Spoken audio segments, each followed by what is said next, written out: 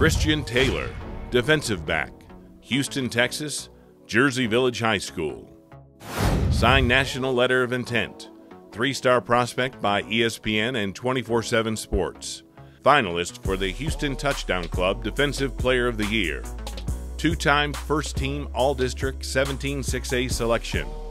Three year starter, team captain, 2014 Falcon Award, MVP. Logged 94 tackles, 56 solo in 2014, along with five tackles for loss, one sack, and one touchdown. Recorded eight career interceptions. Chose Texas Tech over Baylor, Boise State, Louisville, Memphis, and Utah.